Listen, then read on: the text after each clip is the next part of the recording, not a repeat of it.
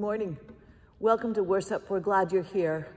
There are so many things going on in the world that it's almost hard to keep up with it anymore. But just remember God's with us wherever we go and whatever we're enduring. Uh, locally, the school board made a decision last Monday night that we'll begin the year K through 12 virtually uh, through the first quarter, but 4K will begin in person. As you might know, Peace Lutheran Church uh, hosts a 4K learning site as part of our preschool program. So we're working to make sure we have the staff and all the protocol in place that we are able to uh, work with the school district and make that happen beginning September 1st. More information will be coming your way in the weeks to come. Please include all of that in your prayers. And so today we begin our worship with so many things to give thanks for. And so we hope you're having a good day and that you've enjoyed a wonderful week of sunny, moderate weather and are just enjoying um, the goodness of your life right now. God's peace be with you as, begin our, as we begin our worship this morning. Thanks for joining us.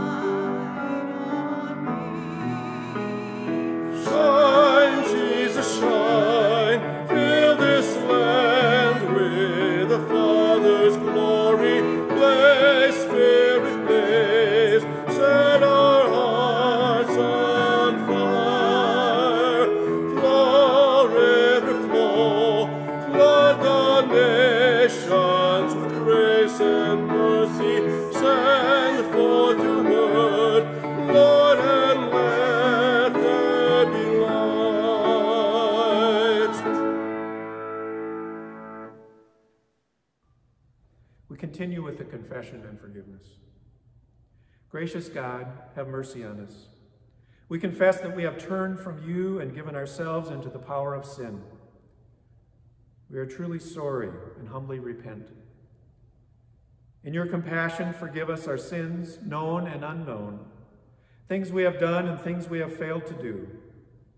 Turn us again to you and uphold us by your Spirit, so that we may live and serve you in newness of life. Through Jesus Christ, our Savior and Lord. Amen. God, who is rich in mercy, loved us even when we were dead in sin and made us alive together with Christ. By grace you have been saved. In the name of Jesus Christ, your sins are forgiven. Almighty God, strengthen you with power through the Holy Spirit, that Christ may live in your hearts through faith.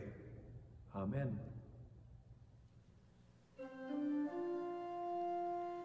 In peace, let us pray to the Lord. Lord, have mercy. For the peace from above and for our salvation, let us pray to the Lord. Lord, have mercy. For the peace of the whole world, for the well being of the Church of God, and for the unity of all, let us pray to the Lord. Lord, have mercy. For this holy house, and for all who offer here their worship and praise, let us pray to the Lord. Lord, have mercy. Help, save, comfort, and defend us, gracious Lord.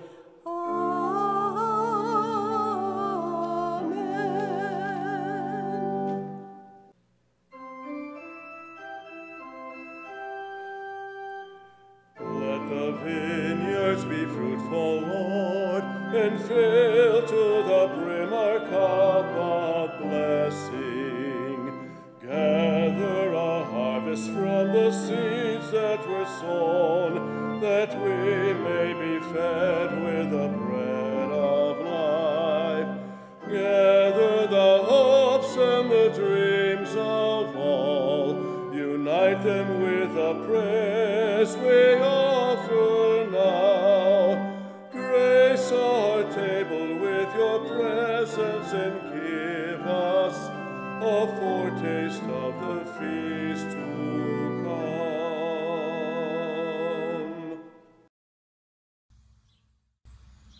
Glorious God, your generosity waters the world with goodness, and you cover creation with abundance. Awaken in us a hunger for the food that satisfies both body and spirit, and with this food fill all the starving world. Through Jesus Christ, our Savior and Lord. Amen. The Gospel according to Matthew chapter 14, verses 13 through 21. When Jesus heard this, he withdrew from there in a boat to a deserted place by himself. But when the crowds heard it, they followed him on foot from the towns. When he went ashore, he saw a great crowd, and he had compassion on them and cured the sick. When it was evening, the disciples came to him and said, This is a deserted place and the hour is now late. Send the crowds away so that they may go into the villages and buy food for themselves. Jesus said to them, They need not go away. You give them something to eat. They replied, We have nothing here but five loaves and two fish. And he said, Bring them here to me. Then he ordered the crowds to sit down on the grass. Taking the five loaves and the two fish, he looked up to heaven and blessed and blessed and broke the loaves and gave them to the disciples. And the disciples gave them to the crowd, and all ate and were filled. And they took up what was left over of the broken pieces, twelve baskets full. And those who ate were about five thousand men, besides women and children. The gospel of the Lord. Thanks be to God. The story of John Lewis is one that shows how one person lived out love, justice, and compassion in our world. Last week, longtime Congressman from uh, Georgia, John Lewis, died of cancer. In interviews with CNN before his death, Lewis spoke of his life and what he and others had hoped for and prayed for would change. Representative Lewis said, I've been in some kind of fight for freedom, equality, basic human rights for nearly my entire life. Lewis's life includes working with Martin Luther King Jr. during the Freedom Riders Challenge of segregated buses. And he was a keynote speaker at the 1963 March on Washington. And he marched from Selma, Alabama to Montgomery, Alabama with King and thousands of others to fight segregation. Lewis said, There was a power and force behind these actions. God Almighty was there with us. Imagine the obstacles Lewis and others had to overcome to march for freedom and equality. Lewis went on to tell of being beaten on several occasions. For instance, during the march to Selma, the marchers were met with heavily armed police and Lewis's skull was fractured. The national news covered the violence and the nation came together and the Voting Rights Act of 1965 was signed into law. In another incident, Lewis was beaten by members of the Ku Klux Klan for attempting to enter a room meant only for whites. It was a horrific attack. Almost 50 years later to the day, in February 2009, one of the men who beat Lewis visited him in his capital office. The man's, the man's name was Elwyn Wilson, and he was well into his 70s. Wilson also brought his 40-year-old son with him. Wilson told Lewis who he was and said he had indeed been in the KKK and helped beat him on that day many years ago. Wilson said, I want to apologize. Will you accept my apology? Lewis did accept the apology, and the three men hugged and cried together. Lewis said, It is the power in the way of peace, the way of love. We must never, ever hate. The way of love is a better way. This story is remarkable at many levels. The forgiveness and compassion shown during this encounter has the power to change how a person thinks of themselves and how to think beyond ourselves. How might the story of John Lewis and Wilson change us to practice forgiveness and compassion? Whatever your thoughts are about the state of our world, the statement that the way of love is a better way is powerful. It is compassionate, forgiving response to hate shown towards Lewis and other black people trying to change the system of inequality and oppression. In reading about Lewis, what possible reactions could have taken place when confronted by a man who had beaten you or me years ago? A compassionate response does not always come to mind first. What the reaction would be is one of anger or one of fear.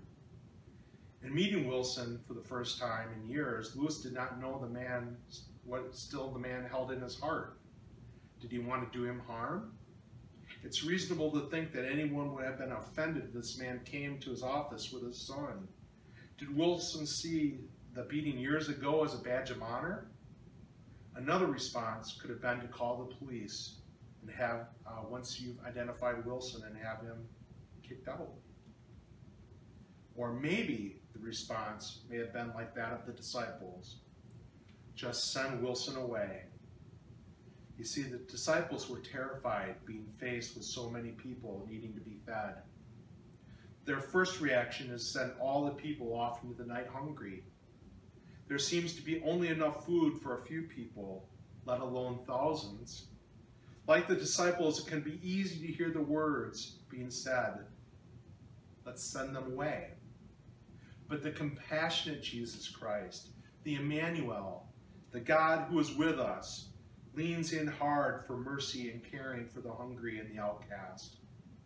Jesus blesses the food and gives it to disciples to feed the multitudes. Lewis's words come back to me. The way of love is a better way. You see, Jesus is teaching his disciples what John Lewis learned during his life, that the vision of God is for the world we live in now. It is an inclusive, compassionate, loving world where we care for each other. And I imagine a family that had been followed, uh, followed Jesus to this place in the wilderness along the lake. The blessings and the healings are taking place all around, but it is getting late and the family is getting hungry. Yet they are miles from the village and it will soon be dark. The expectation of the world during this time is that life is harsh and that food isn't always available. But in a beautiful prayer and the passing of baskets of food, This family is fed. In fact, all are fed. Each has enough to eat, and there is still plenty left over. Imagine the joy and thoughts of thanks for the blessing of food that would be raised to heaven as the thousands were kept from hunger that night. Compassion has a way of changing people. Jesus knew that. The disciples, they learned that.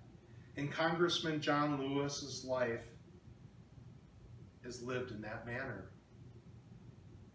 Jesus taught compassion to his disciples by caring for the huddled masses that have been following him. In his compassion, Jesus blesses the loaves and the fish and hands them to his disciples so they all they can feed all the people. Out of fear and scarcity, the disciples' world is transformed and they learn about compassion and abundance. Theologian David Lose says the disciples are caught up in Jesus' words of abundance and gratitude and distribute what they have had, have and participate in the wonder and the joy. All and were filled. God uses even these reluctant disciples to care for the poor and hungry that God loves so much. We are invited into the same kind of relationship with God, as God does not work alone, but with each of us. Theologian Clifton Kirkpatrick says, in this relationship with God and each other, we reach out striving for love, justice, compassion for one another. Amid the coronavirus and, and the push for justice for the Black Lives Matter movement, we are invited to this way of love, compassion, and yes, justice. The invitation is to partner with God and one another to bring about real tangible change for African Americans. The good news is that we don't have to do this alone. God partners with each of us to open our minds in a compassionate response to our fellow humans. Jesus shows the disciples they are part of the solution, just as you and I are part of the solution.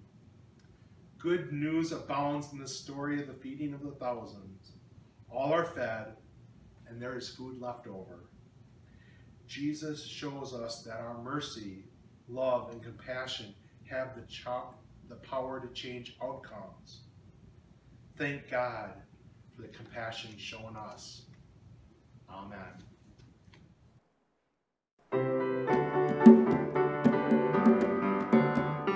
We are marching in the light of God. We are marching in the light of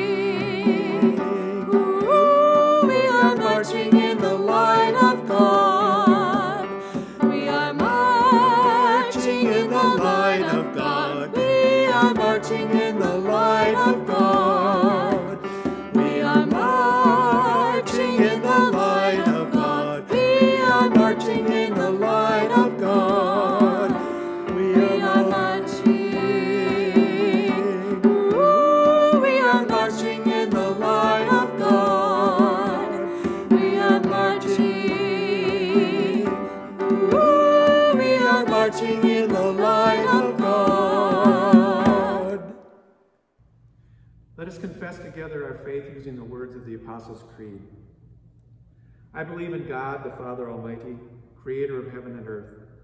I believe in Jesus Christ, God's only Son, our Lord, who was conceived by the Holy Spirit, born of the Virgin Mary, suffered under Pontius Pilate, was crucified, died, and was buried.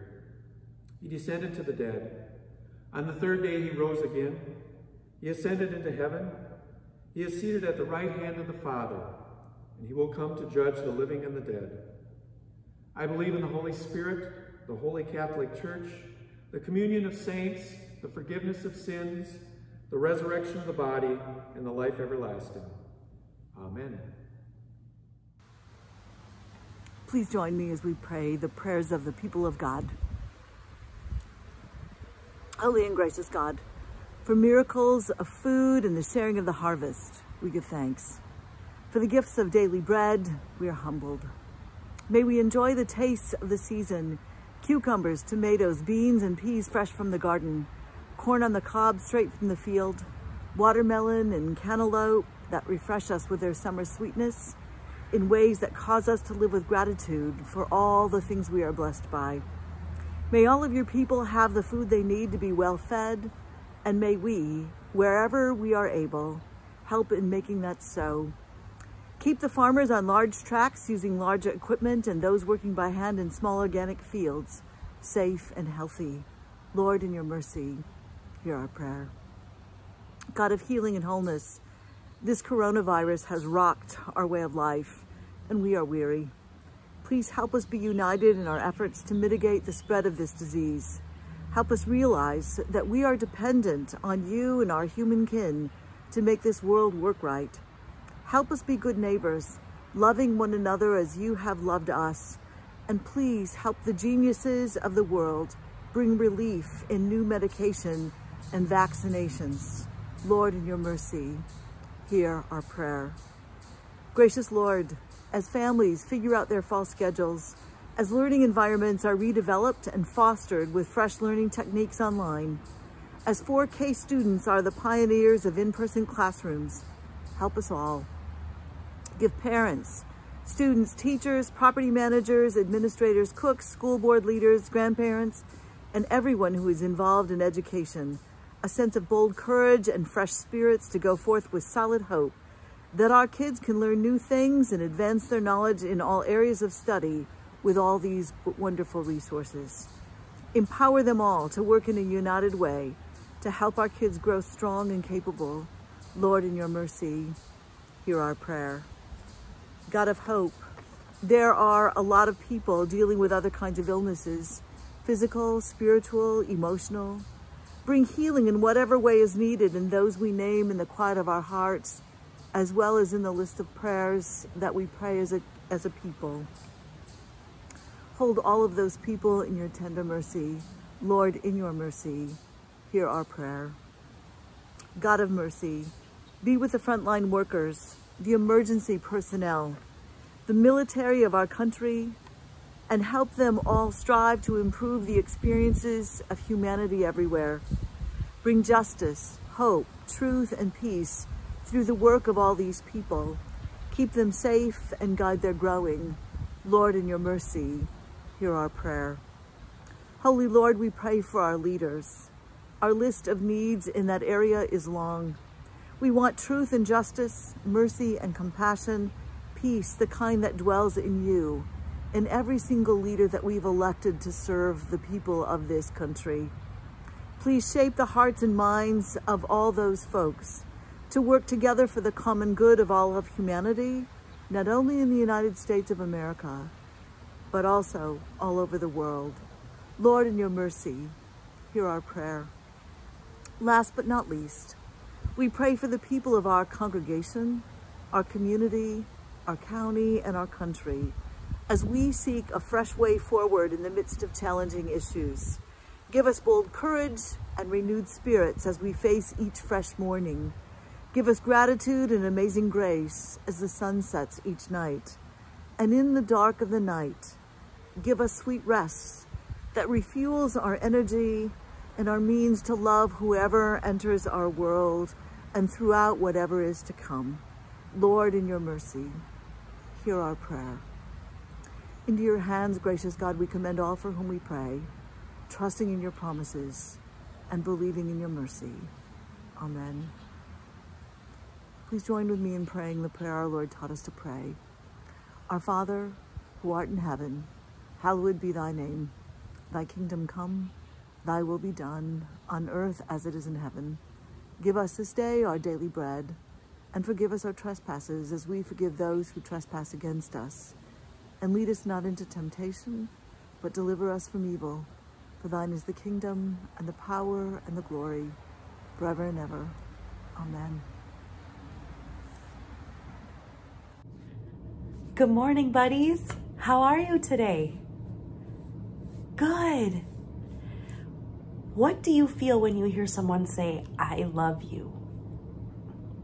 Does it make you feel happy? Does it make you feel special? You know, we can also tell someone that we love them by showing them. What are some ways that we can show that we love someone? I show mommy that I love her when I go for walks with her. I write my grandma and grandpa letters to say that I love them and to stay healthy. I make hearts and I hug. But since this coronavirus is happening, I do it like this. But you don't do that to your moms and dads because you can just hug them and high five. And the other their way to show love is to send them cards in the mail.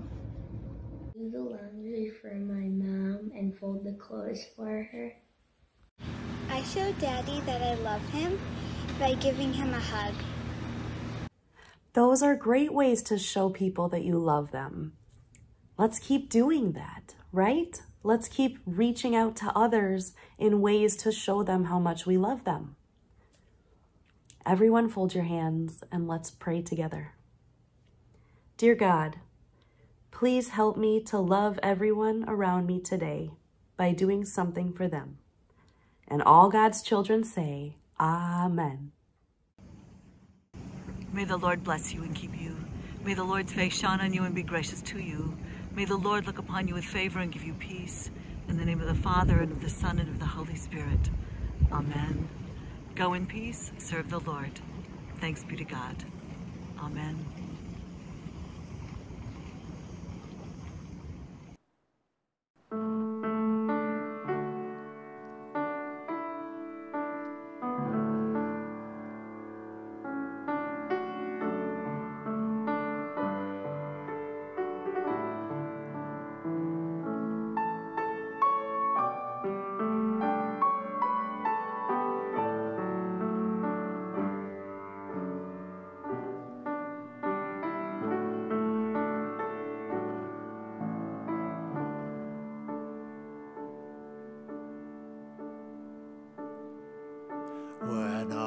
Am down and oh, my soul so weary, When troubles come and my heart burden be, then I am still and wait here in the silence until you come and sit a